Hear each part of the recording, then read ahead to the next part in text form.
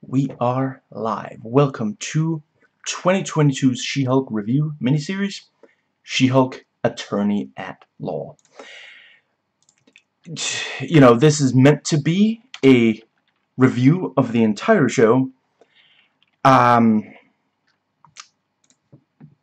right now, it says that they are not they're not currently planning on a season 2, but if there is one in the future, then this review is of season 1, and I will make another video for, yeah. I'm going to start by telling you this was a show that I really liked, and parts of it I absolutely loved. This video will have at least a few jokes, and I will get serious for a, a lot of it. I realize this video is long. I'm going to do what I can to make it worth your time. And I'm going to be speaking faster than because my back hurts. And let's see. Yeah, so this video is a review where if I spoil anything, I will verbally warn before I do so and hold up an index finger while I spoil. So you can mute and skip ahead until you see me lower my index finger. Also, please note I will not be warning before spo yeah, before spoilers for earlier entries in this franchise. I the show kind of assumes that you've watched the MCU up to this point.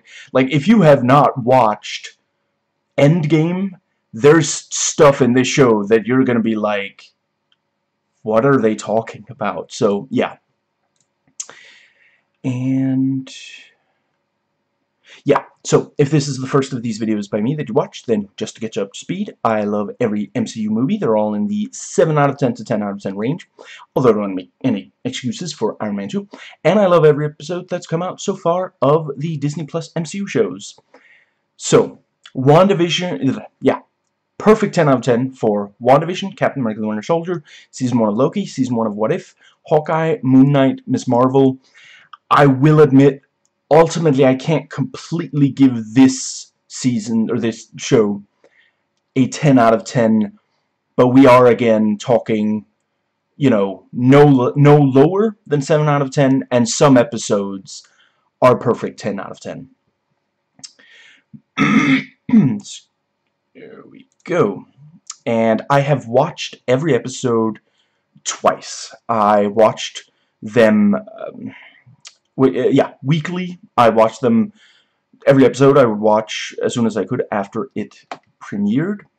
And since watching the finale for the first time, I guess that was Thursday?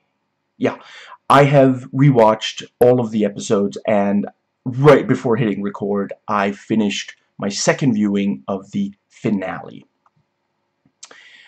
So, the plot Jennifer Walters navigates the complicated life of a single 30-something attorney who also happens to be a green 6 foot 7 inch superpowered Hulk. And let's see. So yeah, I'm not going to get into details, but you know, a number of episodes of this are, uh, you know, a, a case of the week, and kind of, uh, you know, it's it's a it really resembles a classic TV show. Very much self-contained episodes, and you know you have an A story and a B story, and yeah, you know, a lot of the time, one of the stories is about, you know, it's not always like courtroom scenes and like outright you know uh, arguing from the prosecutor and the the defense uh, defense attorney. Sometimes it's you know we see them prepare for uh, you know going to trial or they try to do things that maybe mean they won't have to go to trial for certain cases you know. But yeah one of the stories will be lawyering, and the other story will be just, you know, yeah, the life of a 30-something career woman, and yeah, you you might be able to tell from this that this is not like for a long time the MCU has been like okay here's a here's one good guy here's you know sometimes there's more than one bad guy but usually there's one central antagonist uh, main villain. They're gonna fight either using superpowers or a superpowered you know suit or this is you know technology and uh, you know yeah. Pow bam biff the whole you know big kind of and yeah phase 4 has been moving away from that has been experimenting more and yeah this is the this is the least action oriented Disney Plus MCU show. And let's see so so yeah you don't you don't need to have watched everything MCU before watching this, but I would definitely say it is very good to have watched the the movies that feature the Hulk. And uh, yeah, you know, there's uh yeah, I guess I'll just very briefly around, you know. So yeah, The Incredible Hulk, all four of the Avengers movies, uh, I guess that is it. Yeah. Um, right. And Thor Ragnarok. And the, uh, let's see. Right. So, yeah, so, uh, some of the MCU Disney Plus shows have troubles handling the villain characters you know, sometimes the villain, uh, I guess, yeah, sometimes the villain will show up very close to the end of the show. Uh, you know, sometimes, yeah, the following are not always the the case, but some of these are some of the problems, some some of the, yeah, aspects of the villain problem. Sometimes you have a difficult time figuring figuring out what is the the plan what are they trying to accomplish. You know much more so than many of the movies. And uh, yes another issue is that the people who wrote the show are not always sure what you know what are the what is the villain trying to accomplish? Which is you know it's important if the villain is going to be a major aspect for that yeah. And I suppose in some ways this show uh, does have uh, issues there. So yeah I you know I really enjoyed and again some of them I loved the episodes on the first viewing rewatching, knowing where it's going, even better. Like, the, the, if you're someone who's only watched the episodes once, and you were like, eh, I guess it's okay, consider a rewatch. You know, I'm, I'm not the boss of you, but consider a rewatch if you think that, yeah, if you're passionate about the MCU. And yes, that brings us to the writing. So Jessica Gao is the head writer and creator, and before She-Hulk Attorney-at-Law, there was, uh, yeah, I have to admit, I don't particularly, right, I have not watched Rick and Morty, but I see she wrote, uh, yeah, she was executive story editor on uh, six, uh, yeah, yeah, executive story editor on six episodes of Rick and Morty, and she wrote one of the episodes that she's executive story editor on. And yeah, various TV credits and see. Yeah, and the the it's it's very clear that you know this this is a show for by and about 30 something career women. And you know I guess I'm not going to give away with their it's all but several of these women are uh, people of uh, women of color. And the uh, you know yeah as you might have guessed from the name Jessica Gao she herself is East Asian now let's see yeah Kevin Feige described the series as a half-hour legal comedy that would be faithful to John Byrne's take on She-Hulk in Marvel Comics I have to admit I have not read that much She-Hulk um, I really liked what I did read. I, I read the very first issue where, you know, the, the origin story. I have heard from people who really love uh, John Byrne's run that, yeah, it is, in a lot of ways, very faithful. And, yeah, uh, you know, the, the various scenarios are, you know, interesting and, you know, being a straight cis man, I couldn't relate to everything, but I certainly see how, you know, again, 30-something career women would definitely be able to relate to a lot of what we see on this show. And the pilot is quite strong. Some people say that it's in too much of a hurry.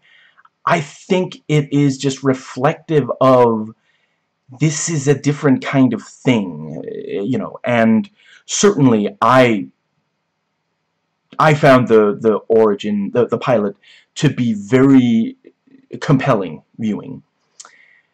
And uh, yeah, you know, it does a good job setting up what the show is going to be like, establishing the tone, the comedy, and I think that is what I have to say about the pilot.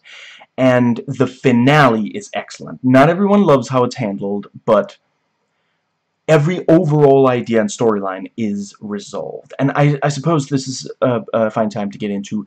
I'm not, you know, some people have said the show does not have an overarching storyline, which, you know, for sure, you know, they're not always satisfying, but so far, all the other Disney Plus MCU shows have had an overarching storyline. And I think this is a great time to depart from that because it's I'm glad that it took them less time with the MCU show, with the Disney Plus shows, than it did with the movies. They are breaking away from the formula, and I am here for it. The, yeah, not necessarily an overarching story, or at least not in... Not everyone will feel that there is enough of one, but it does have an overarching theme. And this is, again, this is something I really, like, after watching the finale and then rewatching all of it, like, okay, I completely understand now what they were going for. And, eh, you know, I, I tried to, I'm, I'm not going to get into spoilers in this video, but in my video where I talk about my thoughts on the finale, I try to talk about what I felt like the it it was you know heading towards as as much as I understood it before rewatching the the season up to which I think was still you know. But but yeah the the show yeah some some say you know oh some of it is is filler. It really is like it's just yeah it's just not supposed to be telling a story the way that we're used to it's more you know it's slice of life it's everyday you know as as I think we can all attest to most of us have you know a fairly straightforward life you know for sure some people don't and you know yeah, some of them have had shows made about their struggles. But, but yeah, a lot of this is just she's trying to balance these different aspects of her life. And, you know, yeah, the, you know, something happens to her. She becomes, you know, she, she gains the ability to Hulk out. You know, she's not permanently a Hulk. And it really changes her life, and she's, you know, she tries to figure out how to integrate this new part of her in a way that doesn't completely derail what she's, you know, she's she's in her 30s and like when the when the season starts she's like eh, working at the DA's office and I forget the exact wording but it's something uh, you know she is um, what's the word? She's she's headed for a you know things are going well. She might be getting a promotion soon. And this whole thing happens and she doesn't want to just give up this life she's worked for and that's you know, that is one of the things where this is very different from uh, the other shows. uh, the other MCU stories in general, you know, a lot of them are like, you know, this is my lifetime. You know, I am I am a superhero now. And I would definitely say that it is intentional that the first MCU I don't know for sure about Marvel Marvel Netflix. Netflix Marvel? I've, I've, yeah. But certainly, of the MCU movies and MCU Disney Plus shows, you know, I am watching Netflix Marvel, finally. It's on Disney Plus now. I don't have to get Netflix for it. You know, yeah. For the MCU movies, for the MCU Disney Plus shows, this is a different take, and I think it is very much intentional that it is it is the story it's it's the first of these to center a 30-something career woman of color and yeah you know again I can only you know I base this on what I've heard women say. But yeah traditionally you know a, a series of people who have not been in charge of their own narrative, who uh, in control of their own narrative, who have had other people, you know, giving very biased stories about them. A short list. Women, women in their 30s, people of color, professional women, you know, women who, like, she went to college, she, she's worked for this, she's not, you know, this is, you know, if, if the if the story had been made, I guess, ah, yeah, if the story had been made some decades ago, it would be about she doesn't want to be a housewife. You know, it, it, you know, in this, it, it's not really that. Oh, is she going to be a housewife? No, no, no. It's gonna. Is she going to be? Is she going to stick with lawyering, or you know, how much is the Hulk aspect of her going to, cha yeah, take charge? And yeah, you know, that is, I suppose, a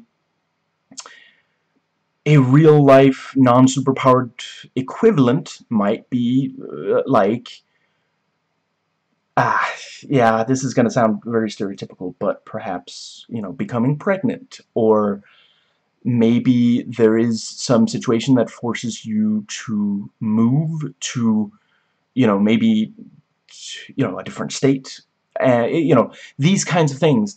And, you know, obviously, since it's a sitcom, some of this stuff is very, very goofy and outlandish.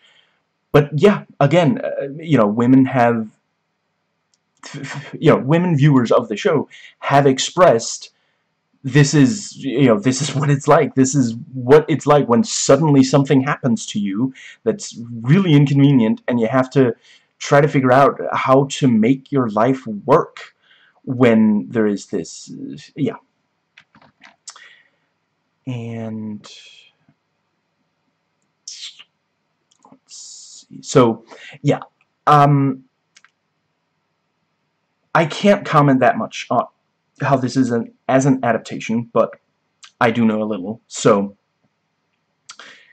basically, it does take some of the major elements you know, some characters will show up, and some aspects, such as the fourth wall breaking, uh, you know, yeah, are, are significant here. And, let's see, so, so yeah, there's not necessarily a, a huge amount of use of superpowers, especially by She-Hulk, but it does use them very well, and it is easy to follow. and that brings us to the direction. So, Kat Coiro directed six episodes, and also, you know, she has a career in TV. Let's see, she has, yeah, 17 different, um, I guess, shows, including Brooklyn Nine-Nine, also a workplace comedy. And, hmm, let's see, yeah, in addition to being a director, she's also an executive producer, which, yeah, by now we realize that is pretty significant. Oh, she, let's see, she was on Charmed. And Law and Order, yeah.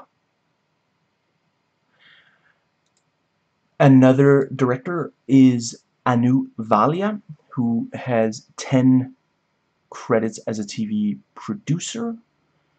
And, uh, let's see, 20 credits as TV, for, for directing TV. And so I've, uh, I have to admit, I forget exactly who this is. I believe it's one of the directors who said that the characters who come over from other shows and movies are made to fit the tone of this show. It's not saving the world, it's slice of life. And I found that to really, really work. I, I understand some people were frustrated. I think it's important to remember this is not a new status quo. This is one particular show. if She-Hulk is a major part of a movie, maybe that one will also have, but that doesn't mean that all of these characters are going to be like this from now on without, you know, yeah. And parts of the show, the ones that she didn't dislike for good reason, really resonated with transgender critic Jessie Gender, who's here on YouTube like I am, and I find it hard to express in words how happy that makes me hear. I've long felt that the transgender community deserve this kind of representation since they face so much undeserved hatred. I'm not going to say that there is enough representation for any marginalized group, since I don't belong to any of them, but before this show, there really wasn't representation for trans people in the MCU, and I would argue they were the very last group to get it. The I, I am willing to hear counter-arguments from fellow progressives. Not everything about the show works, but if you give it enough time, by the end, the show has delivered on just about everything that we hoped for based on the comics, based on the MCU, so this show did definitely alienate and upset a number of conservative male fans who clearly felt it was very hostile towards them. But that's not the only great thing about the show. So yeah, to be sure, there are very negative depictions of men on the show, but the MCU has always had evil men. Men in the leads who were very flawed. Not saying those are the same thing. Now the male villains are evil because of the way they treat women, and the flawed lead is a woman. Also, the show does feature some evil women, and I'd say there's at least half a dozen, you know, women characters on this show that come off badly in various ways, not always evil, and over half a dozen, you know, good men, positive depictions of men. The show, the show features women to emulate and men to emulate. A lot of characters that we love to hate, not all of them get much screen time, representing different aspects of toxic masculinity. And I just want to say, the actors who do the, you know, they are spot on. Like, they just, like, they, they really are completely convincing when this is the kind of, you know, this could easily get kind of ridiculous, and I realize some people would argue that it does, but they they make it feel like it at least belongs in this world, which I think also some people are like, you know, this is a comedy. Like comedies, you know, it's a sitcom. The, there's a lot of broad comedy, a lot of stereotyping in sitcoms, and this is not the first sitcom to have, you know, toxic males. So I've read a number of reviews. Some people are using the term feminism as, as if that is automatically a negative. I mean, if you don't understand how feminism is a positive force, and not only for women, I realize some men are like, you know, why aren't we helping all people? It does help men as well. If you don't see that, you know, I mean, I'm going to make some arguments here, but Otherwise, yeah, this is not a show for you, and I don't know why you would think it would be. Like, what what in the marketing or like just yeah, I I don't know why you would think that this was yeah. And, uh, yeah, you know, some of these, you know, feminism, uh, women should stop blaming men for their own problems as if the power isn't still largely in the hands of men, and thus it does make sense when we feminists ask men to stop blaming women for their own problems, and claiming the show features misandry. This is an attempt by misogynists to hijack the discussion of misogyny. Currently, the system defends misogynists and attacks survivors, and as such, yes, we need feminism. This show is not saying that men should be treated badly the way that misogyny is saying that about women. It is not misandrist it is anti-misogynist. It does not hate all men. It depicts misogynist bad behavior and criticizes it. I have to say, if you watch this show and you feel like you're being targeted, I mean, if you don't already realize you're a misogynist, maybe think about, like, so I, I already mentioned, I've watched every episode of this twice now. I never felt like the show was saying that I was a bad person you know, I, I'm not saying I'm perfect. I try to be an ally, but none of the misogyny on the show, like, I, I never felt like, oh, wow, this really hates men. I'm not saying there's no media that, eh, you know, yeah, that, that does hate men and think that men are just terrible. And I don't really know why that's supposed to be a negative by itself. Like, uh, yeah. Anyway, that is not this show. And, uh, yeah, so, anti-misogyny, as such, it does not meet the criteria for propaganda that some are alleging. I completely disagree with the reading that says that the show is accusing every viewer critical of the show of misogyny. What it's saying is that misogynists are a very real threat there are characters on this show. There are men on this show that tell Jennifer maybe you should try this instead of what you're doing now. And, you know, she might at first be reluctant, but it, you know, that there is sometimes, like, it's saying that all people can help each other. You know, it is not saying that all men are, are evil. Now, let's see. And, and it's also, like, her father appears... Ah, let's see, what was the first episode? Or very early in the season, certainly. He's very clearly a positive... Episode 2, I'm almost certain, yeah. Episode 2 has her father like if if you only watch the the pilot, I will grant there are not very many positive depictions of men in that, although I would definitely argue that yeah, it's not really a, a spoiler to, to say. The the yeah.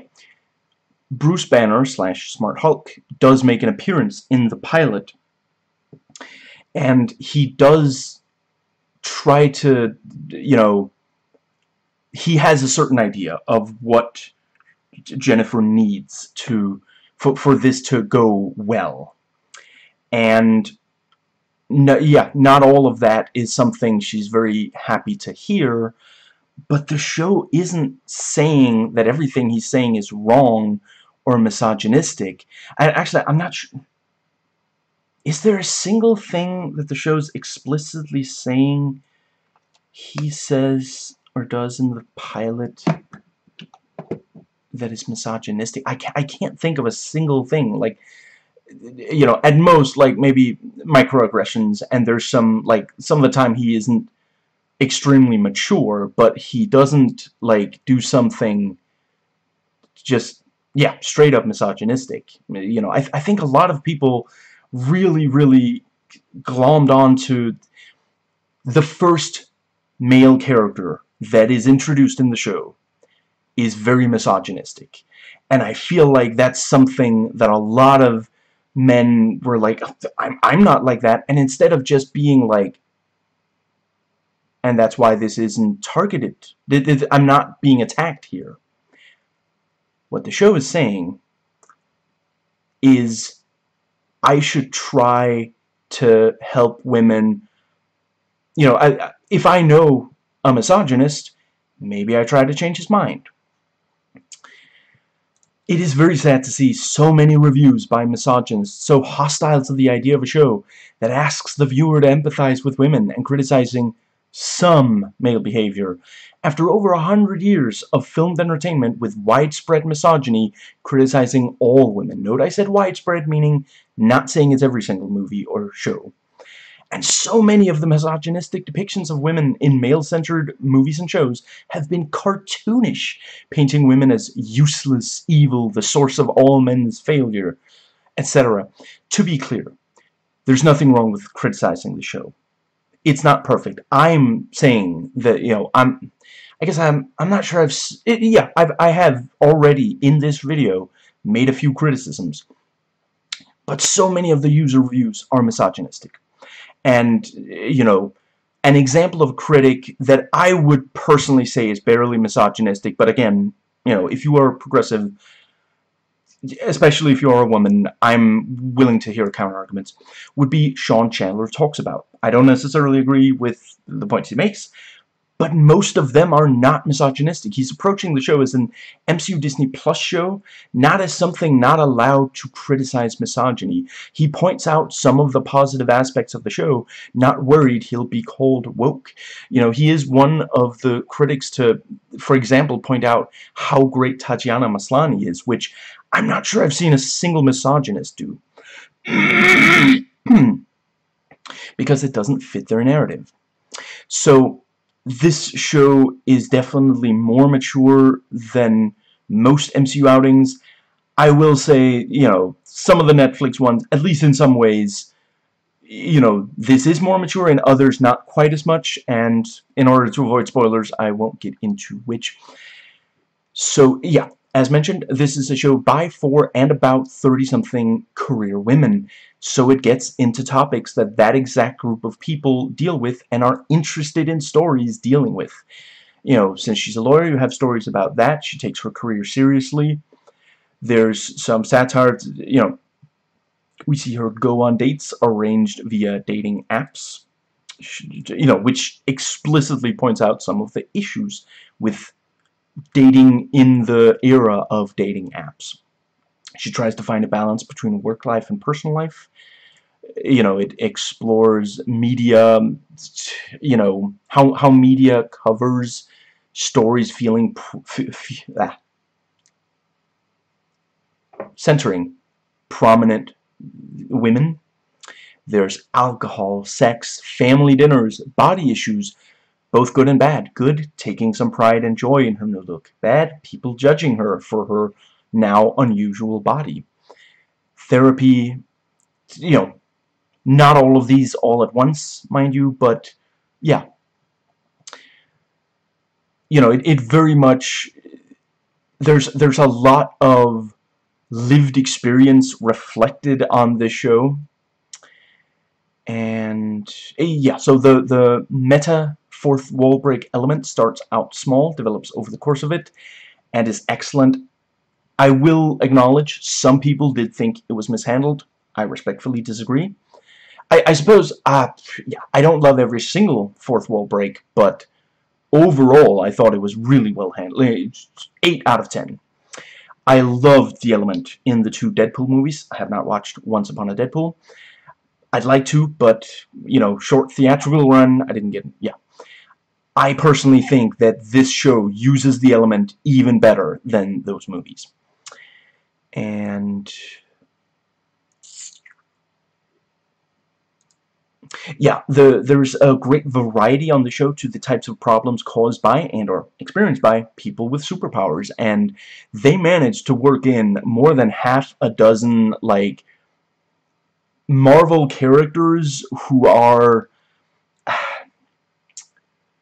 when they debuted, they were perhaps seen as, you know, wow, that's an interesting idea, but, you know, by today's standards, they seem somewhat silly. And there's some great contrasting between the, the kind of super aspect of the MCU and the mundane of lawyering and a normal life with dating apps and such.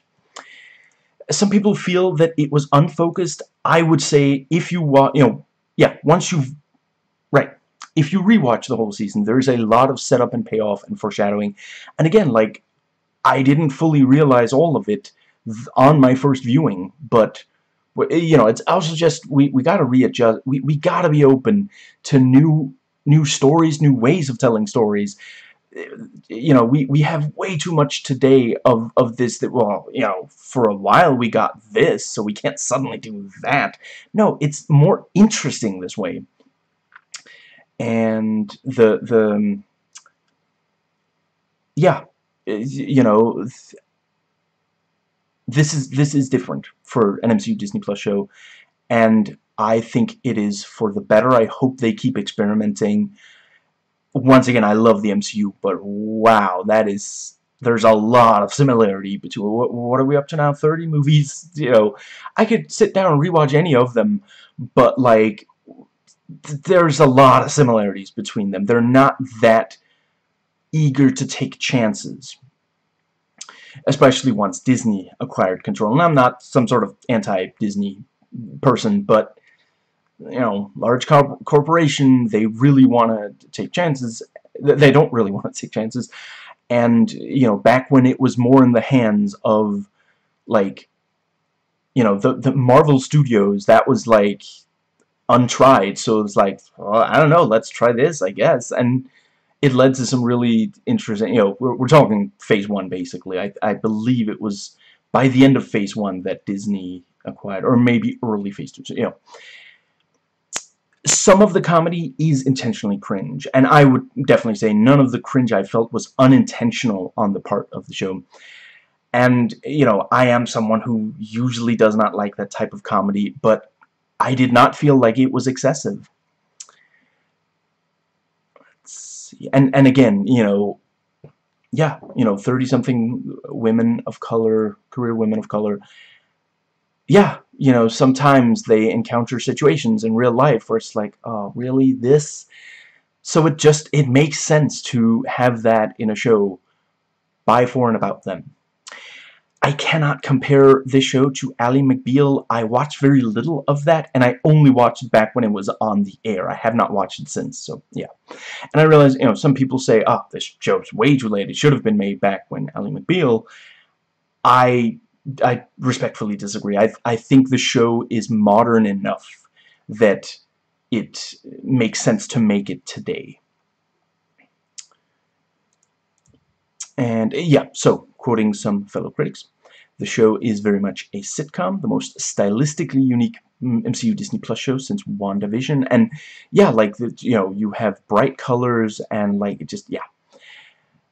And, uh, yeah, some do say too many jokes don't land, and since it is so focused on being funny, that is a problem. Some people say that the jokes are too, uh, I believe the word's telegraphed, and, yeah. And yeah, still quoting quoting critics. I love that this is about what happens between the big superhero movies, what people think about Steve Rogers outside of when he saved the world. the show has some fun with the legal troubles that would realistically come up if MCU stuff happened in the real world. Big, bright, colorful. Ideally, a show billed as Marvel's first out-and-out -out comedy would be notably, notably funnier than, say, Hawkeye.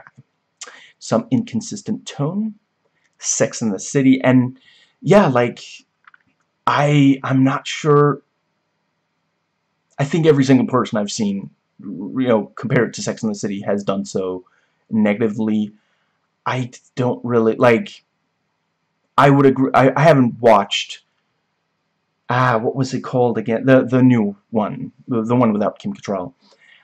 If it was, if this was like that, but as far as I'm, you know, I've watched, like, uh, the take videos on that show, it really doesn't seem like you know this and that have that much you know.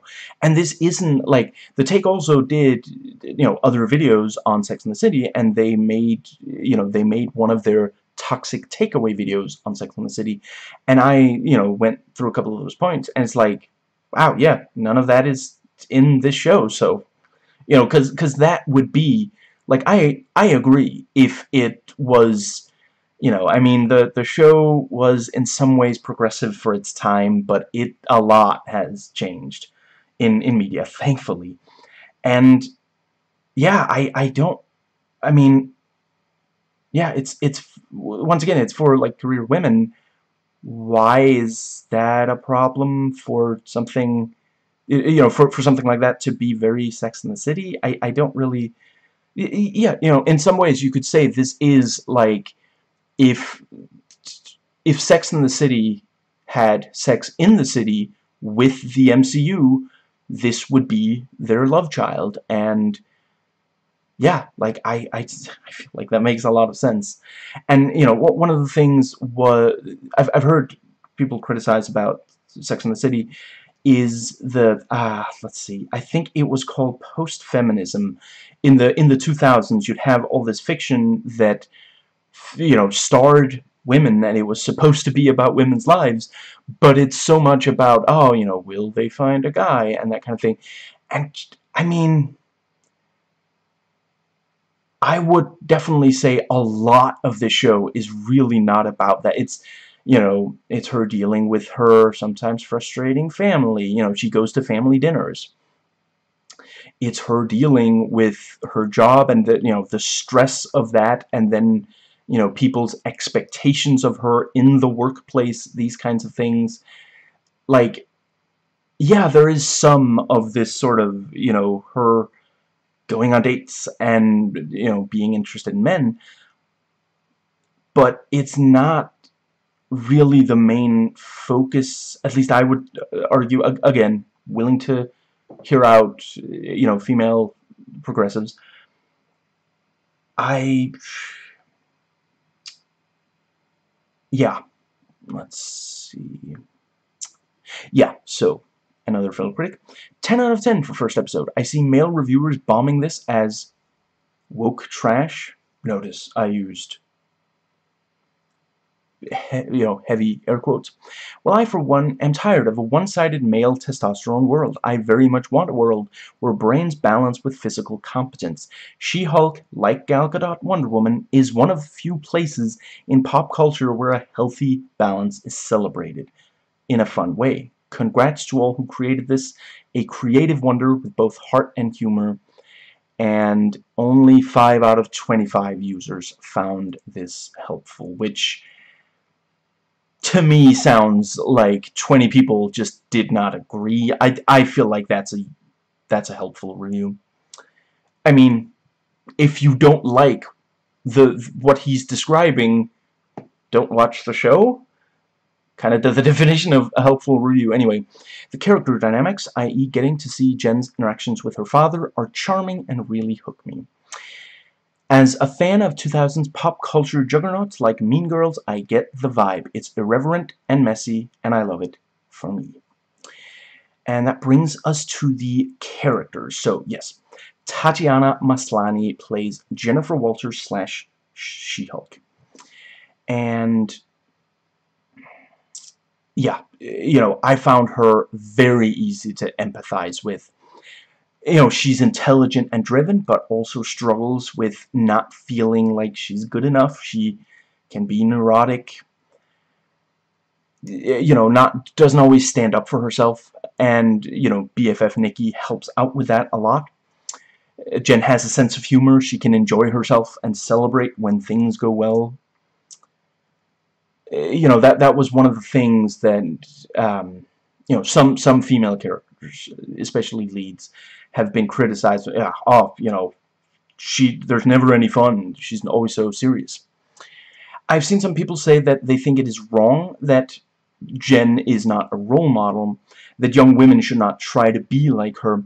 I agree that she doesn't start out like that, but she grows over the course of the show.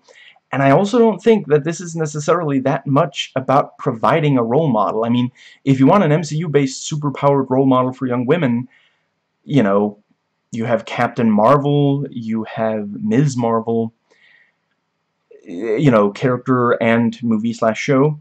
I think the idea here is for young women to recognize themselves in Jen. It's saying, you're not alone in being neurotic. There's nothing wrong with relying on your friends for confidence. If you need therapy, a mental health break, that's okay. And that's something that women for so long, they've been told the opposite. Now, let's, you know, for example, this things with friends, you know, there's a lot of male-centered movies where, like, the friend of the woman that the male lead is attracted to is, like, an antagonist, like, he has to find some way to get her out, you know, distract, you know, have someone distract her, or, like, find a way to talk to the, the female, you know, the, the, yeah, the, the potential partner when she's alone, and it's like, do you do you realize how predatory that seems? Like part of the reason that women often pair up when they, you know, go out to party and su such is because of predatory behavior by men. Now, yeah, so again, critic quotes. Tatiana Maslany has great screen presence and a lot of charisma. She has great chemistry with the people they pair her up with. I especially like when she's paired up with Nikki, her paralegal. I 100% agree. She is so charming and charismatic and you just, you want to spend more time with her. You want to get to know her and just, yeah, you know, like if Jennifer Walters existed in real life, I'd want to be friends with her. And let's see. And you know, some some people have said she really carries the show, and yeah. And right, She-Hulk isn't trying to be a hero, and in fact, the fame bothers her. She's just trying to be a good lawyer. The effects on her as She-Hulk are, you know, not always great, but her face and thus her acting always comes through, and this was the right choice. And I will talk about, you know, it's not like, I really hate when conservatives say, oh, you know, the lazy that the effects are so bad. No, it's crunch, it's a lack of a strong union, you know, effect people are ridiculously overworked, and it's pretty messed up that you know conservatives ignore the very real problems with this entire group of people because it suits their narrative. You know I would actually I would not mind if they said uh, you know the effects are bad Marvel has to stop treating animators so badly and forcing them to to rush through these things. You know now, you know, maybe some conservatives do, but I have not come across them. And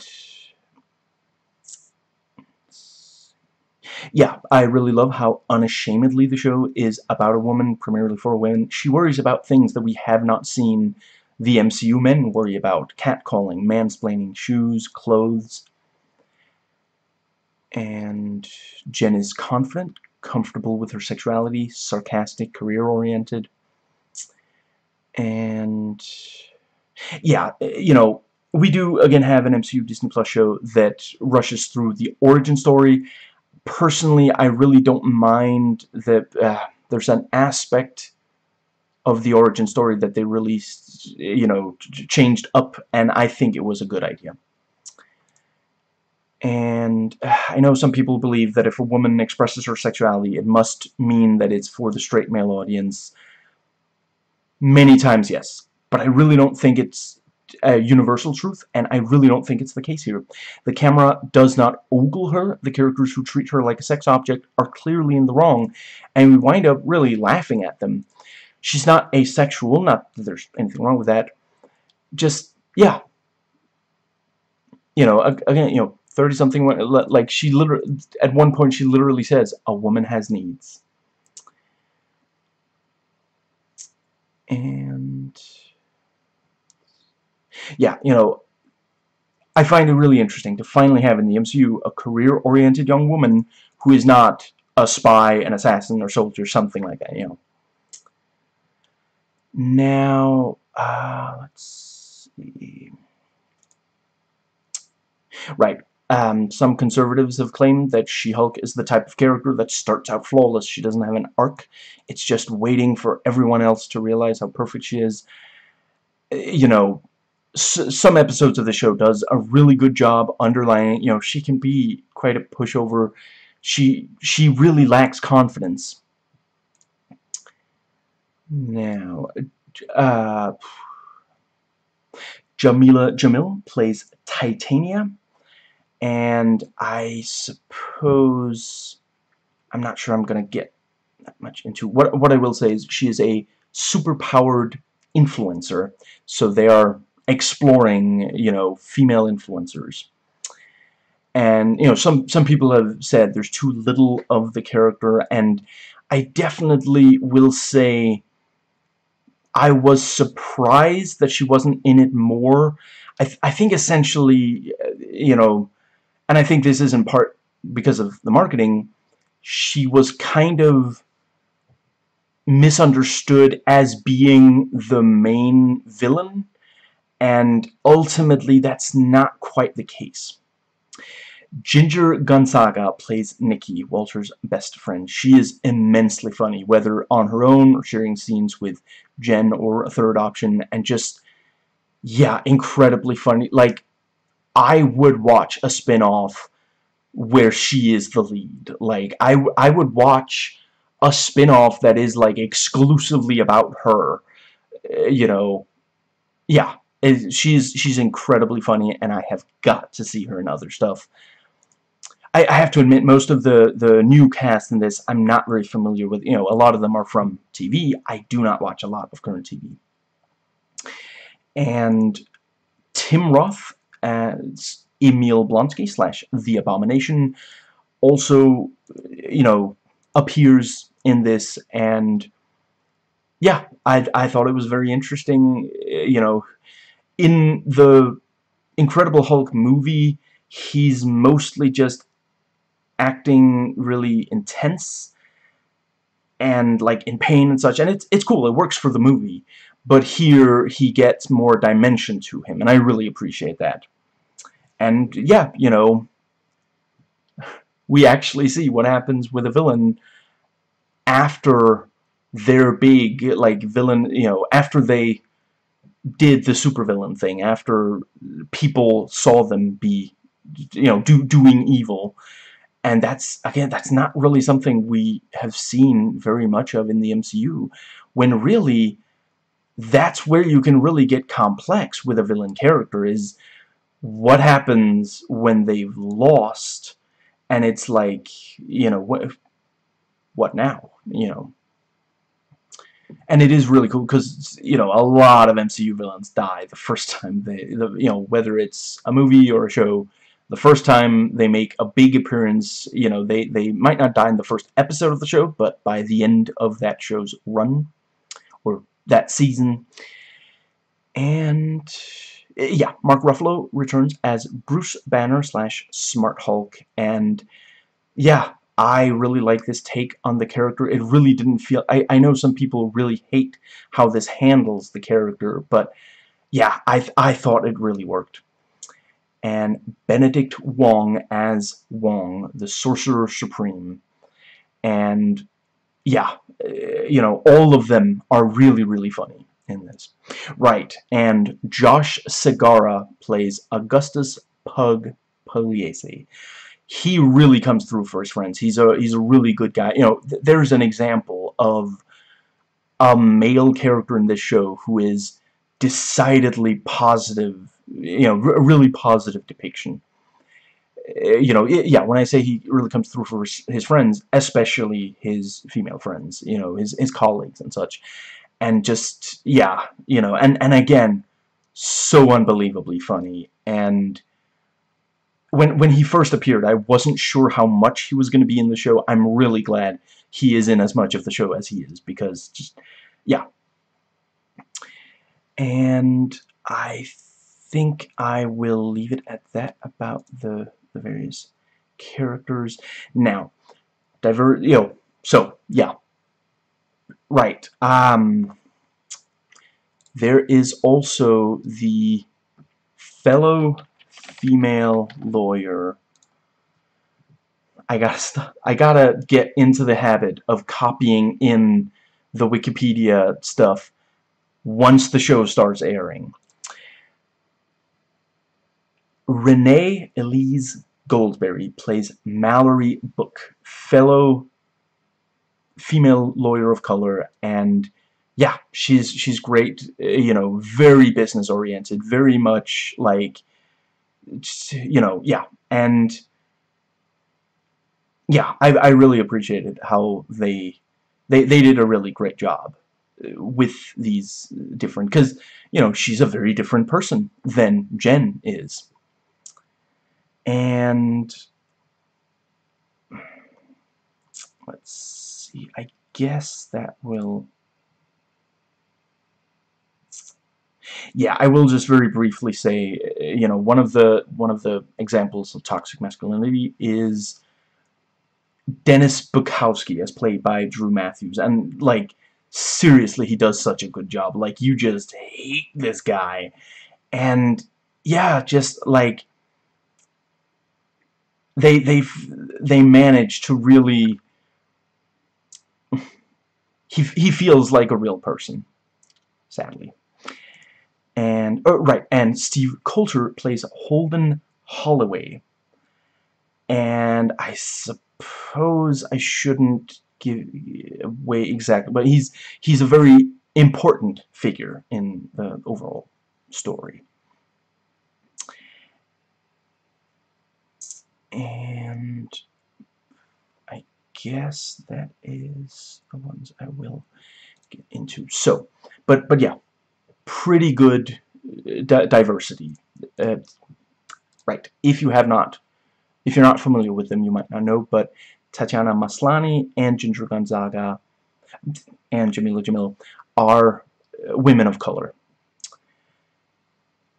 Now, yeah, diversity in casting is one thing. You know, sometimes these pieces of media don't really understand the unique perspectives of its minority characters. And yeah, I would say, like, some of the time, like,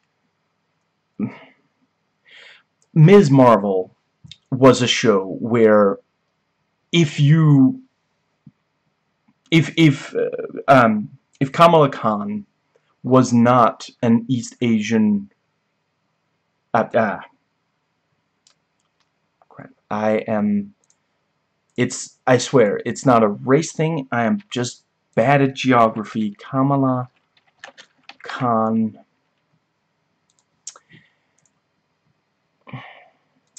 Ah right. Yeah um yeah. Pakistani American Muslim, if she were not Pakistani American, Muslim, New Jersey, you know, teenage girl, if you changed one of those aspects, you'd have to rewrite a huge chunk of the show. It, it is legitimately, it is about her as, you know, her experience.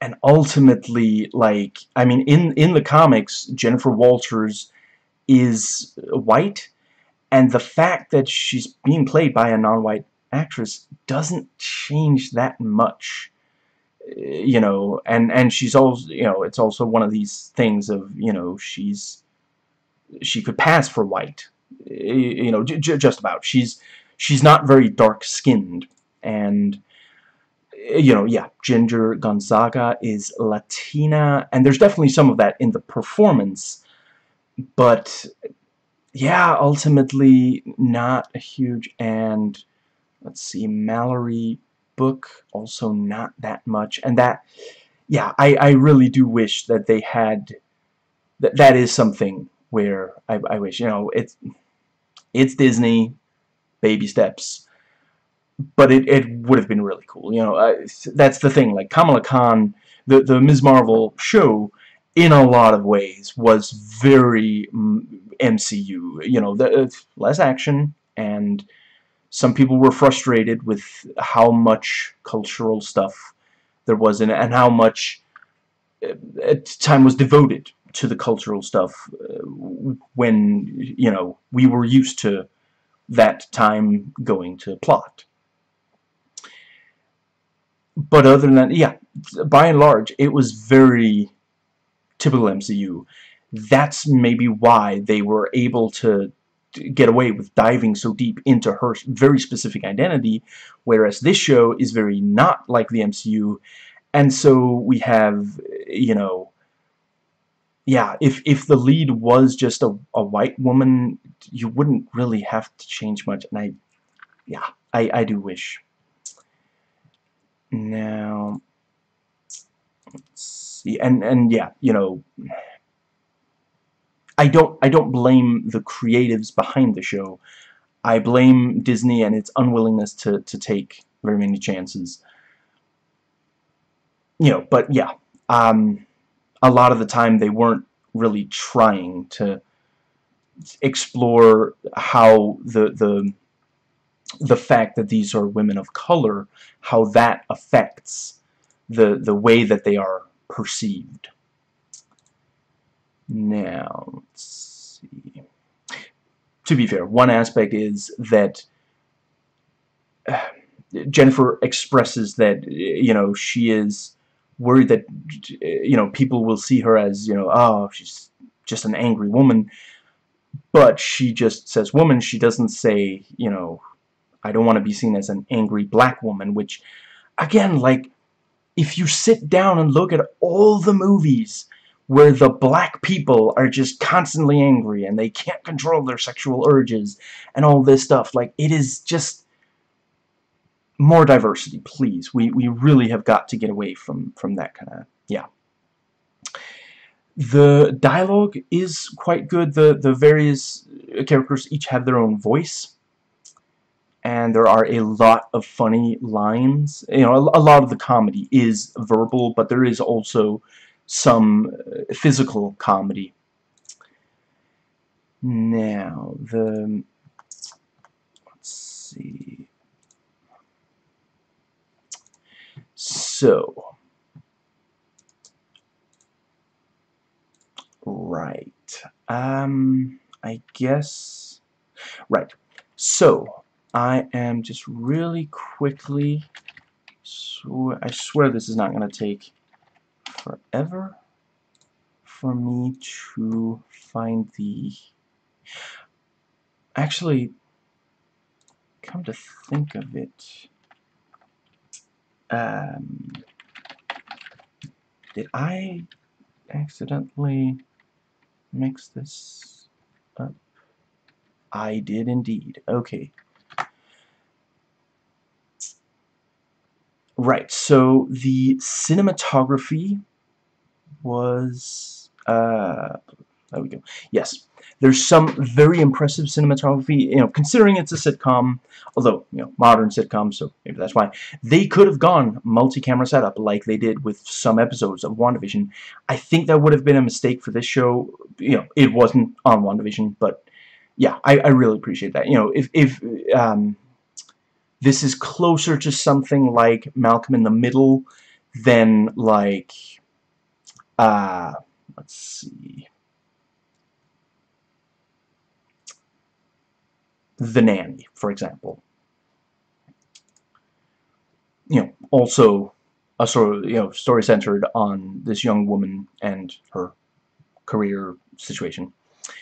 And the editing was, you know,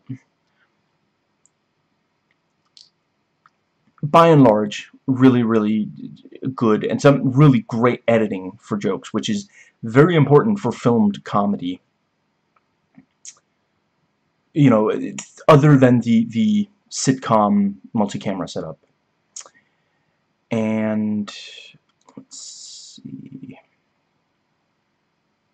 Yeah, so, the action. This is very much not an action show. Sometimes a lot of screen time passes without any. It is not completely without action scenes, but it's really not about them. Some people have said that the ones there are are really not very impressive. I suppose that's true for a number of them. I think it is worth noting it really was not the point of the show. There is perhaps a sense of obligation to them. I, th I think it's, you know, the show's at its best when it basically isn't doing them at all, or, or if it's, like, just for comedy's sake and you know just focuses on what it is clearly more interested in. again you know there are only so many chances they're allowed to take but I, I think it would be really cool if this show was basically just the the the comedy and the occasional you know and yeah again when they do action you know make it funny because they do some of the time but yeah you know some chases on foot some physical fights and use of superpowers. Now, the score for this is is quite good. The you know basically the music boils down to score for the very dramatic moments and licensed pop and rap songs, some recent, some 90s, some 2000s, very frequently by female artists who have done well for success, celebration, etc. Uh, the situations on the show of success, celebration, etc you know, basically the kind of music that Jen listens to. And that brings us... Yeah, so I am not going to give away who the main villain is. But I think they did a great job on it, and... Yeah, like, um, I guess this is probably one of the best villains in an MCU Disney Plus show. And the sound design is great because, you know, you do have stuff that, you know, for example, the hulking out, you know, where, like, especially because a lot of the hulking out, they, they don't tend to have the camera on Tatiana Maslany. They, they tend to or, or only at the very start of the very end of the of the transformation you know so yeah it is very important which again it's a way to you know that is more difficult for the animators than She-Hulk walking around and you know the yeah and yeah the sound design does make it very clear like I I can't imagine anyone eh, would watch this and be like when did she turn into, you know, you can always hear the, the transformation. And it does, the, the show does struggle with pacing, going back and forth between a very natural pace, one that is overly fast, and one that's perhaps a tad slow. And I don't mean like, oh, it's, you know, it's letting a situation play out. It's it's resting in the, there are times where it just like it's it's a little bit too slow. Now, let's see. Uh, right, and a critic quote. The roughly 30-minute episodes are tightly, even over-packed, but the try-anything spirit works as a welcome solemnity antidote. She-Hulk, so far, so good. And, yeah, so roughly 30 minutes uh, per episode and uh, you know at least so far only one season and nine episodes to the season so and I would say that it, it uses its time well again you know the the rewatching it and you know realizing what it's building up to and where it really what it wants to focus on I really appreciate how much they actually did you know where on the first I, I you know I do have to admit I'm not as familiar with movies and shows made specifically for women. I'm not completely unfamiliar you know Charmed Sex and the City yeah. But the yeah you know some of them have a you know they're not as fast-paced as shows made more with with male viewers in mind you know and yeah you know it's it's perhaps also something you see in movies like Pretty Woman Legally Blonde so yeah, you know, it's it's not as focused on something has to constantly be happening. You know, sometimes it just lets something breathe and lets us appreciate the the atmosphere, the the situation. Now, let's see the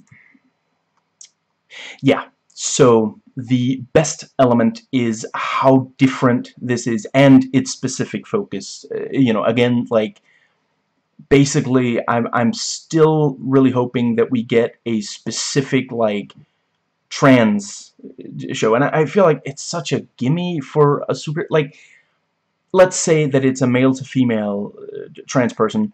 Have them be born male and for a while they're living as you know as, as a boy as a man and they feel like something's wrong and then one day they get superpowers. The superpowers mean the transition into female and they feel much more comfortable as that. And you know that I don't know if uh, if at that point you should have them transition back to male. I, I realize that is something that is very upsetting to, to even imagine for many trans people.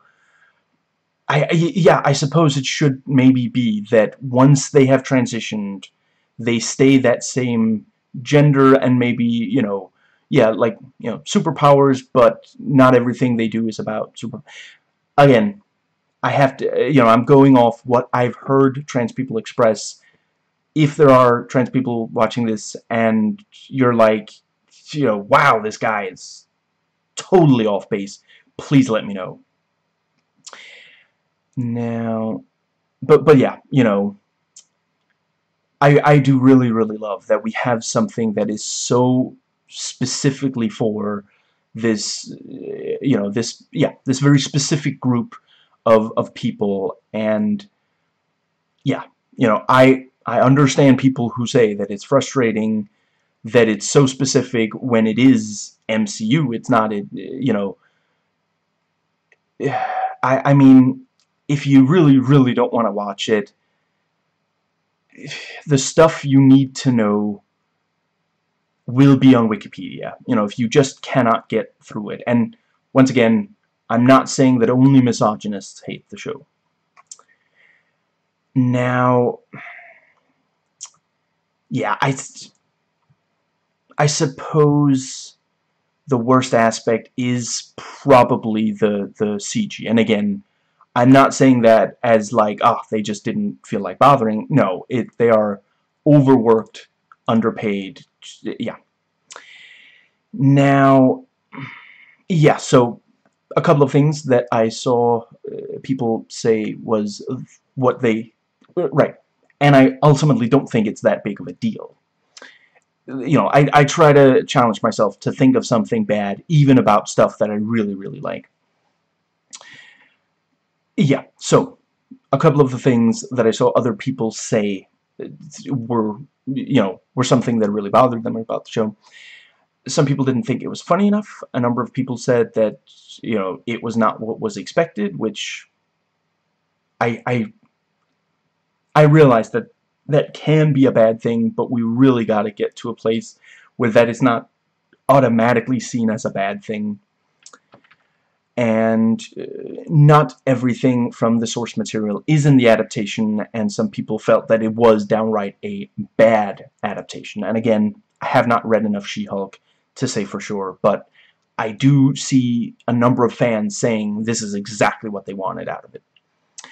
So I was most worried if they could get the character and tone right again you know with it being so different and and there's definitely some MCU straining uh, going on. Like you can this would have been a very different show if it wasn't you know I'm, I'm not sure this should have been like Netflix Marvel because those are much darker where that that's not what this is you know.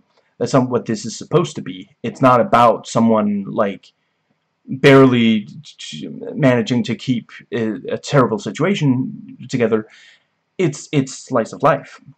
But yeah, if if it wasn't Disney, if it was allowed to be more what it's supposed to be, but you know, at the same time, it does get some really great stuff out of being in the MCU.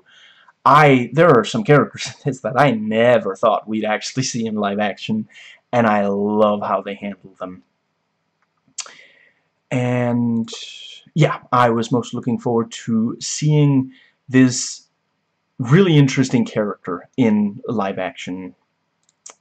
And I really do feel like they did a great job like using the differences between the mediums. Uh, you know, the, the fourth wall breaks are very different in, in some ways than the comic, and that's because those are just two very different mediums, and I thought they did an excellent job. So, the season one, in case there are more than one season later, opener, the pilot is great, the finale is excellent, and the overall season is quite, yeah, it is great. So the trailers do give at least a little bit too much away, but, you know, some of what is in the trailers do give you a really good idea of what the show is like the cover and poster do not give too much away. And it is actually like I think there's basically two oh yeah there, there are character specific posters. But other than that you know you have the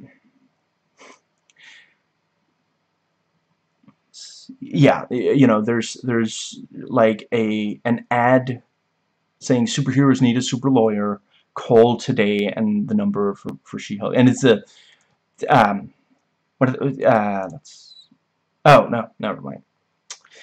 And there is,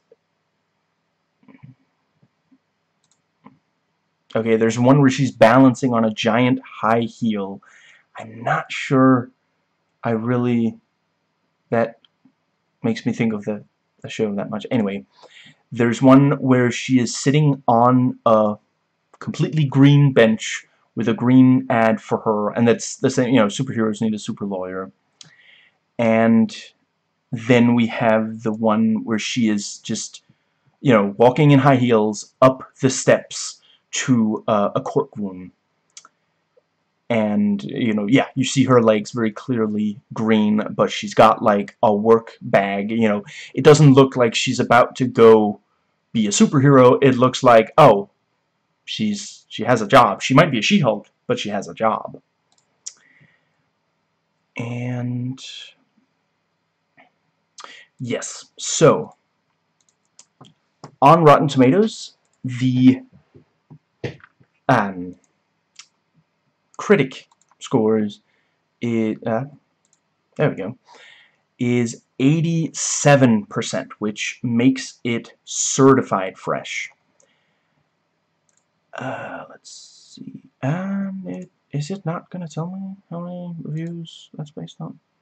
Here we go. 565 critic reviews. Only 73 of them are rotten. The average rating is 7 out of 10. But the audience score is only 35%, the average rating being 2.3 stars out of 5, based on 15,567 ratings and again, I'm not saying they're all misogynists. I do think, yeah, ultimately, it makes more sense to talk about when I talk about the IMDb score and also the the Metacritic. Since you know on Rotten Tomatoes at the end of the day it's you know it's it's yes or no. It's it's an upvote or a downvote. It doesn't mean that every single person who you know that yeah anyway on Metacritic it has a 67 out of 100 based on 26 critic reviews 17 are positive 8 are mixed and 1 is negative. negative and the yes the Metacritic user rating is 2.4 out of 10 based on 635 ratings, 118 positive, 30 mixed, 487 negative. And let's see, okay, uh, it appears that if you vote, yes, if you if you rate it 0, 1, 2, or 3, it reads as a negative review. Mixed is 4 and up to something, and positive is really high that kind of shows that this is a very negatively received show by many viewers. And again, I'm not saying they're all misogynists. I do think that a number of these people, you know, I, I didn't read every single review, but I read a bunch of them, and it's just, you know, a bunch of them are, it wasn't what I expected, or it hates all men, which, as I said, it doesn't.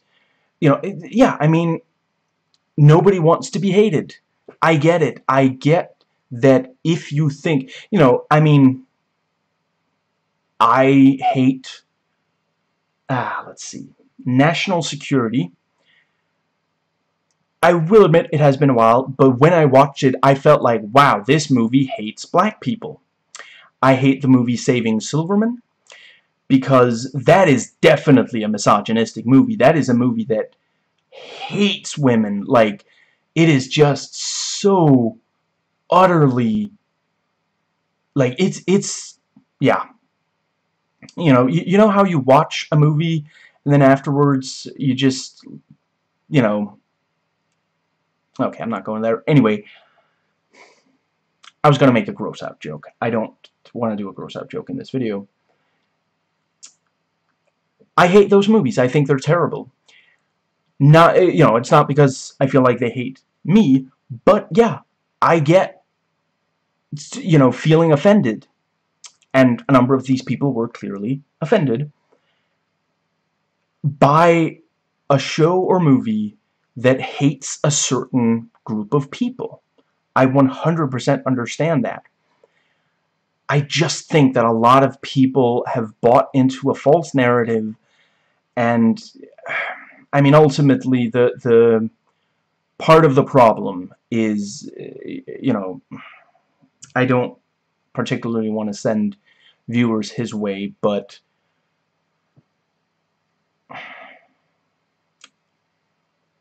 people like the critical drinker. And I feel like uh, a lot has been done to combat the, the narrative that people like him, I'm not saying he's the only one, but, you know, grifters, conservative grifters on YouTube who peddle hatred to, you know, so that a bunch of misogynists don't have to feel bad that they're being, you know, as as misogynistic behavior is being called out in, you know, not only in, in fiction, but also, you know, by real, you know, big personalities. And, yeah, a lot has been done to combat the narrative by people like Organized Chaos and uh, um, Nando V Movies also did at least one video on this. And yeah they both do such a great job. Yeah.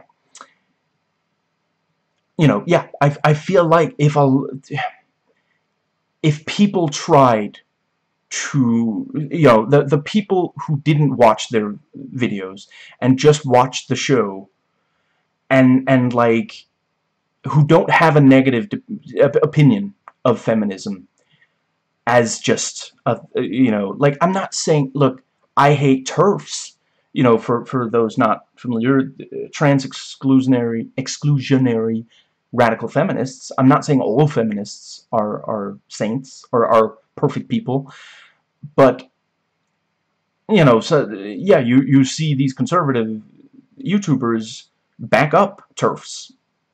So it's not, you know, that they found feminists they like. If you try to watch this show, you know, without that in the back of your mind, without that filter and bias, you know, you might not love the show, but like giving it between a 0 and a 3 out of 10? Like, you know, actually, yeah, I, I kept going back and forth on whether I was going to bring this up, and I'm, I'm going to bring it up. Apparently, this is on, on, ah, Rotten Tomatoes. On Rotten Tomatoes, this has a lower audience score than Inhumans does. Let me check if that's... Yeah, Inhumans has a 43% average audience score. And, you know, some people pointed to that... Some, yeah, some conservatives pointed to that saying, see, it's that bad. And some progressives pointed to that and said, see, that's how hated it is without people really like engaging with it and actually looking at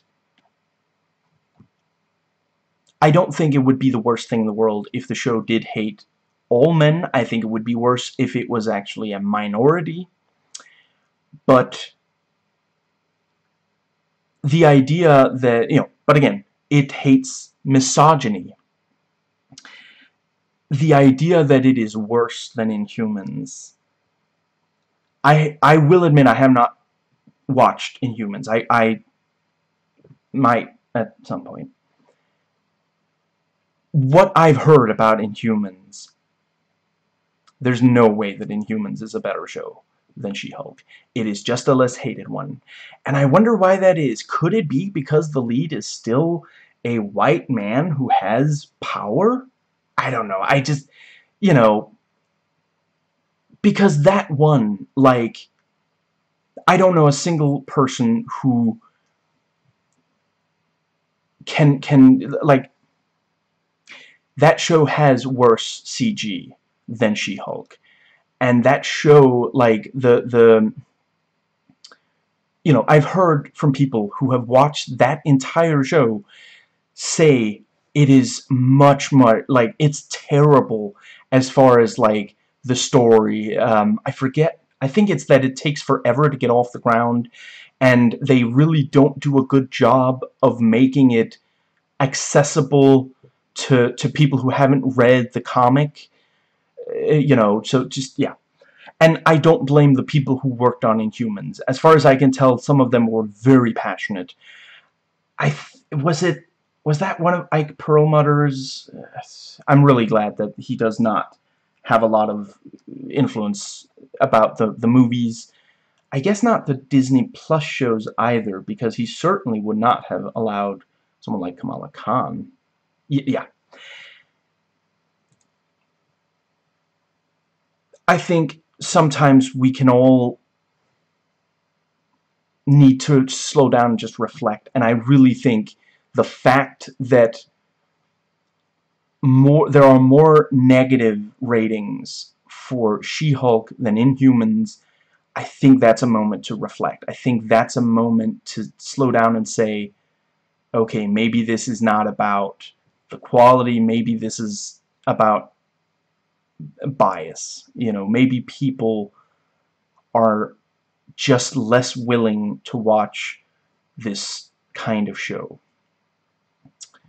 Right. Another thing that you know, as far as I understand, the the you know Inhuman show is like you know because of the budget, there's not that much use of superpowers, but it is a superhero story. You know, it is like they are they have superpowers and they're going around using them, and I'm not sure if there is a clear villain, but I could imagine there there might be. You know, so yeah, a lot of people found and and again, you know, some people the most important thing to them is accuracy to the comics.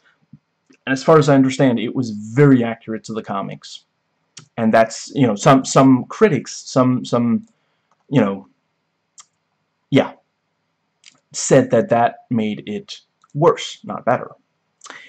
Now, let's see, the that brings us to IMDb, and that's also a place where it is very, very clear. So, I have not read all of the external reviews. Uh, let's see, when I when I checked, I guess sometime yesterday, um, yeah, there were five links, and I could, you know, four of them were in English and not broken links. And, uh, yeah, now there's 11. And, uh, let's see, I would like to just briefly, so, so yes, user reviews, there are 1,388, and if you hide spoilers, it's 1,171. And this has an average rating of 5 out of 10. There are, uh, yeah, it has counted votes from 122,746 IMDb users. And, oh, hold on, yeah, 133,545. 34% have rated this a 1 out of 10. And for those who might not know, that is the lowest rating that you can give on IMDb. It does not allow you to give a zero, which it's funny how many people are like, I wish I could give this a zero. I mean, you're already giving it the lowest. I feel like you've already said that with your vote. Anyway, 14.4% gave it a 10 out of 10. 8.7 gave it a 7, which, you know, I, I feel like a 7 makes a lot of sense. 7.7 .7 gave it an 8, 7.2 gave it a 6, 6.7 gave it a 2, 6.3 gave it a 5. 5.3 gave it a 4. 5.3 gave it a 3. 4.4 gave it a 9. And, yeah. I really find it hard to believe that 45,416 individual voters all legitimately felt like this is the worst because that's what you're saying. With a, with a 1 out of 10, like, you're saying this couldn't be worse. I find that hard to believe, that that, that many people legitimately feel that without them viewing it through a bias. And, let's see... Okay, so I, yeah, I'm just very briefly going to men voting on this. Let's see, all ages 5.0, under 18 5.2, 18 to 29 4.8, 30 to 44 5.0, and 45 plus 5.5 out of 10. Female voters. All ages 6.8 under 18 5.3 and I can I can understand that. This really is not a show for you know you, I don't think you can really relate to it if if you're not like I am in my 30s if I had watched this when I was 18 I would not have been able to appreciate uh, yeah. 18 to 29 6.6 Eh, you know, we're talking about people who are starting to plan their future and, and or that, not only starting, people who are really pursuing their their goals now, you know, and some people who are even in very similar situations, you know, may, maybe, you know, in college, having graduated from college, you know, starting to, to get up, yeah, starting to get, uh, create a career. And 30, yeah, 30 to 44 age, 6.8 out of 10, and 45 plus 6.9. So this does have an audience. Doesn't appear to be young men. And, you know, women under 18 don't, yeah, either. But, yeah. And, you know, to, to be fair, um, the there are significantly more votes by males. You know, the all ages is 47,475 whereas females of all ages 6,355 how does that add up to 133 okay uh I do not know how that is.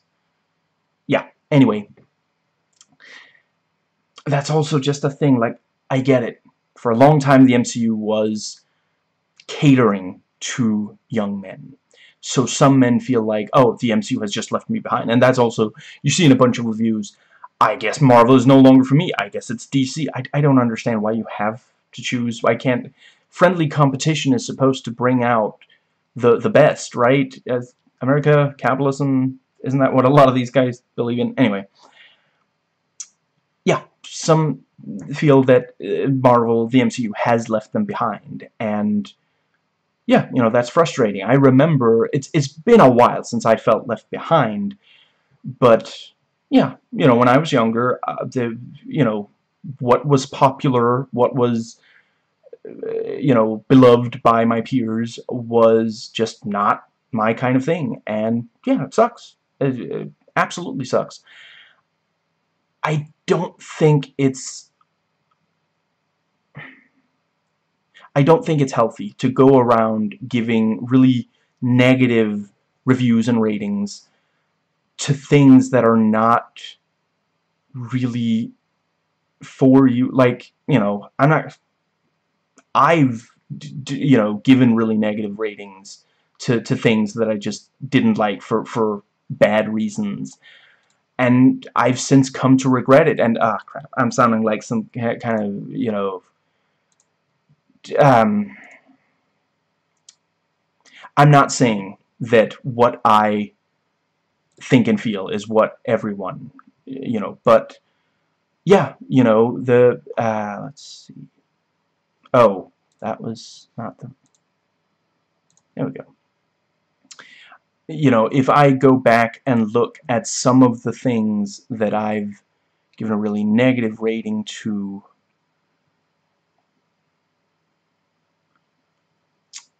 um,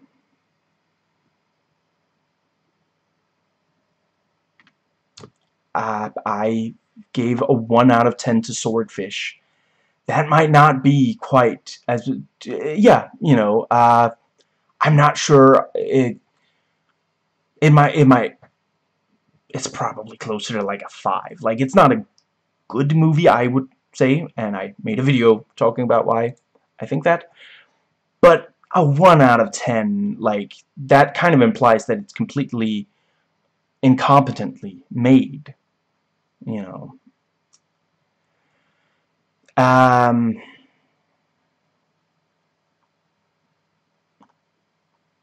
there's probably something else here that is... Huh. Okay, I, I have to admit a number of the... Okay, yeah, um, Fantastic Four from 2005, 1 out of 10. That's all, like, it's not incompetently made. It was, you know, I was frustrated. It, yeah, 2005, there were still a lot of bad superhero movies, you know, and, yeah. What I'm saying is,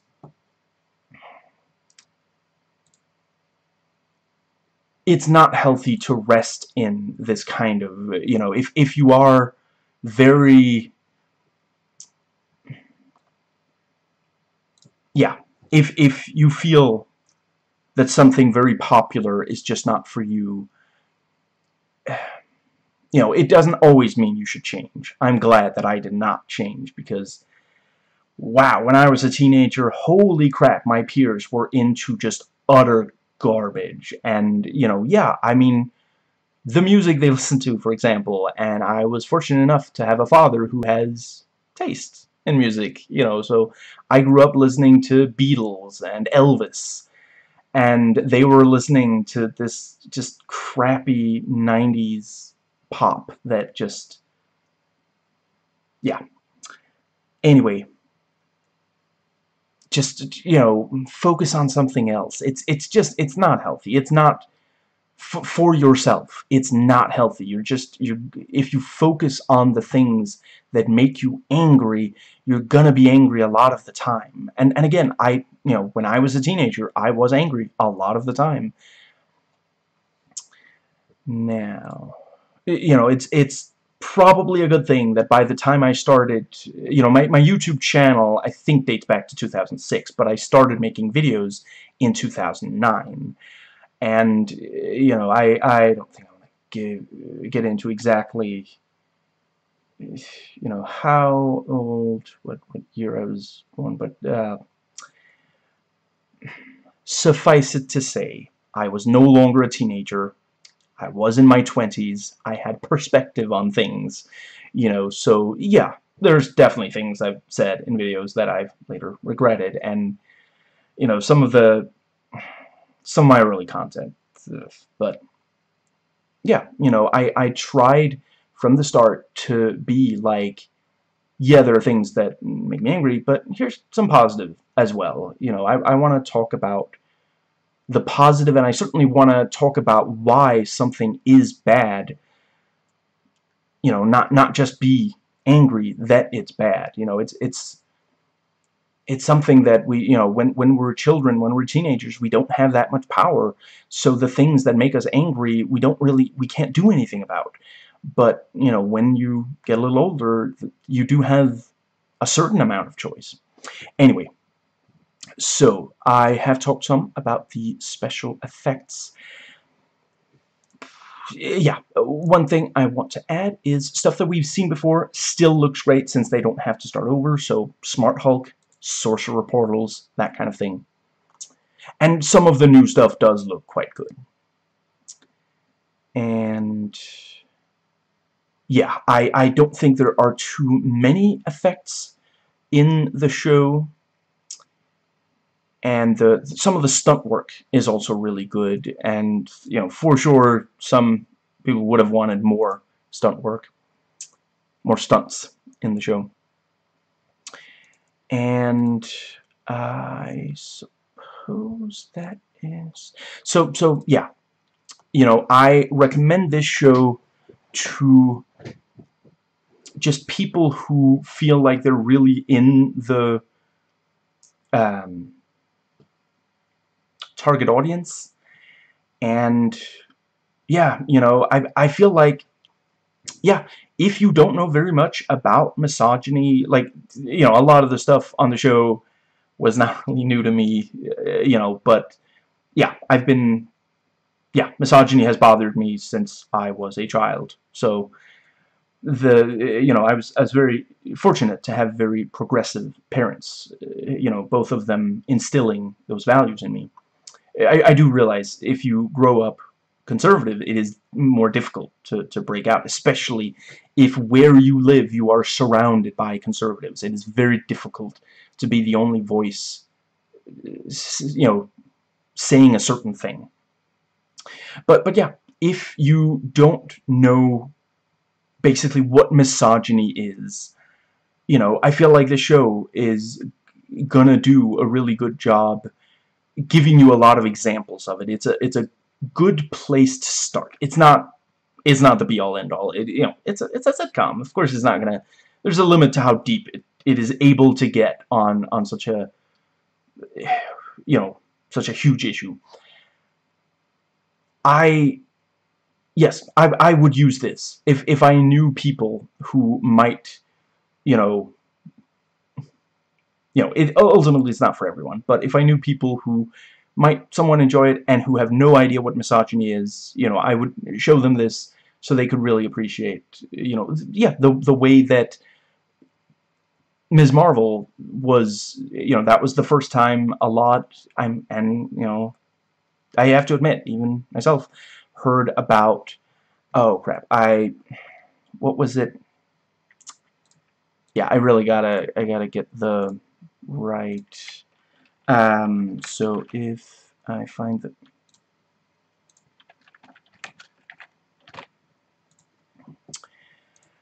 let's see the the um, um, yeah. Yes, the the partition of India. You know, yeah, that show was the first. A lot of us, you know, white people,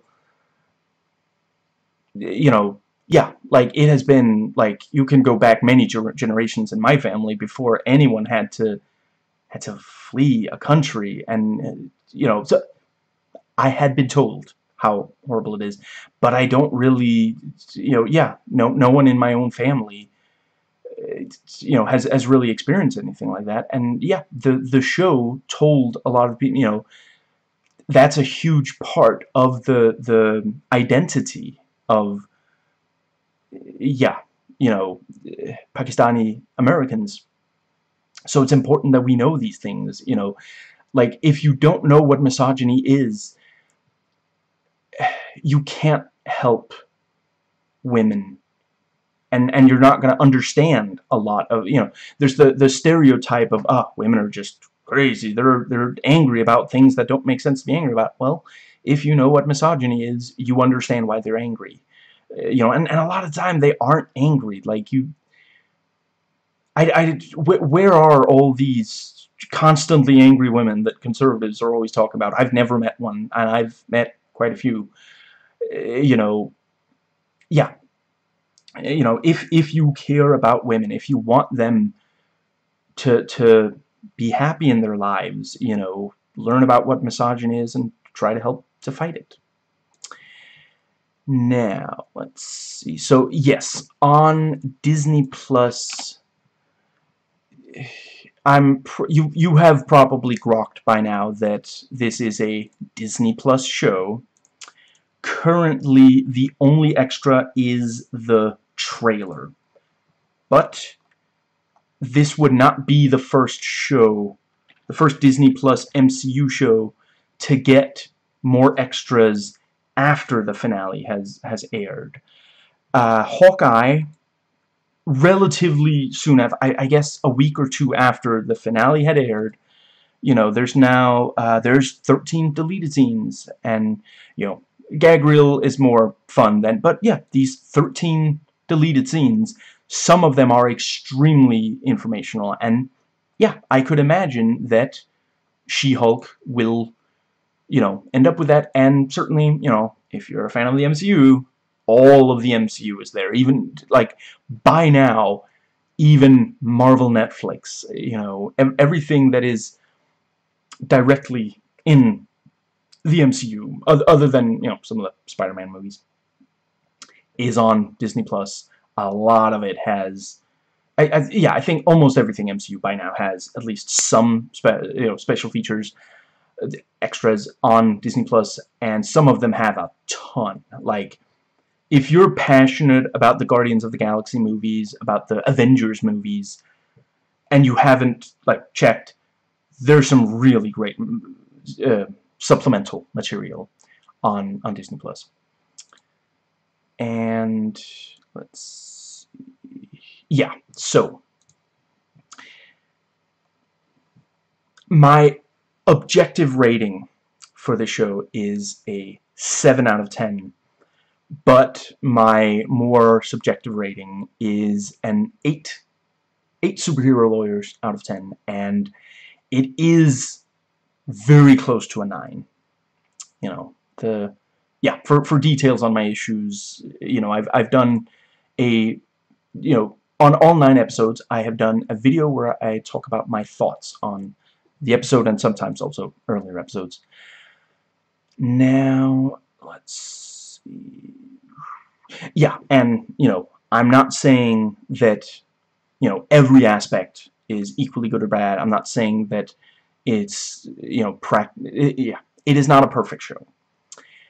But the the stuff that's especially good is is the the um, you know, really, really lifts up everything else, you know. Don't get me wrong, if you recast this and a bunch of the actors just weren't particularly good, if the, you know, yeah, I talked about the CG, the other special effects are quite good, like there's some really strong makeup effects, and just, yeah, you know, if those were, were not as good as they were, if, if this was not a show that understood the characters that appear on the show, yeah, I would think that it was a very bad show. But, yeah, those are some of the reasons that I think it, it works as well as it does.